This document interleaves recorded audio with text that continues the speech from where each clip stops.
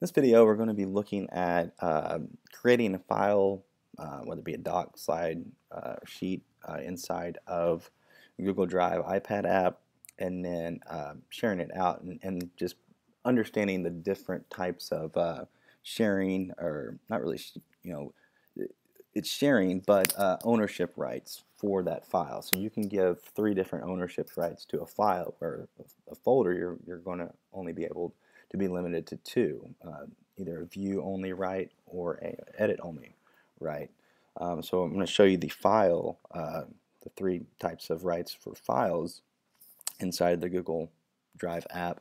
And so I've already created a document um, and I'll just go tap on it and it's the sharing rights. You have view, edit, and comment rights.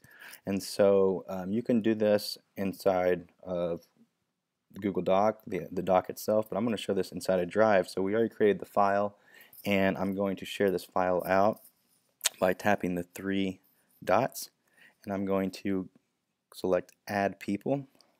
And when I select Add People, I'm just going in and typing in who I want to add to that particular uh, file and then I can select a message if I want. I can also go in like we did before and, and notify the person or uh, people or, or, the actual group.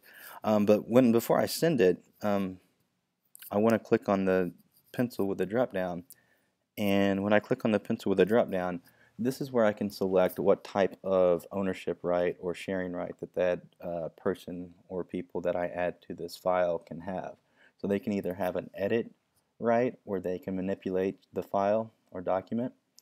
Um, comment where they can you know view the file um, but they can also offer comments um, whether it be for paragraphs or pictures or anything they can they can comment throughout the whole document. And then the last one uh, the one below that is uh, can view so they can only view the file. They, they can't manipulate it in any way. They cannot add comments to the file um, they're, simply able to just view that particular document file, spreadsheet, slideshow, what have you. So those are the three different sharing rights when it comes to sharing a file inside of Google Drive, um, the iPad app, and the web version.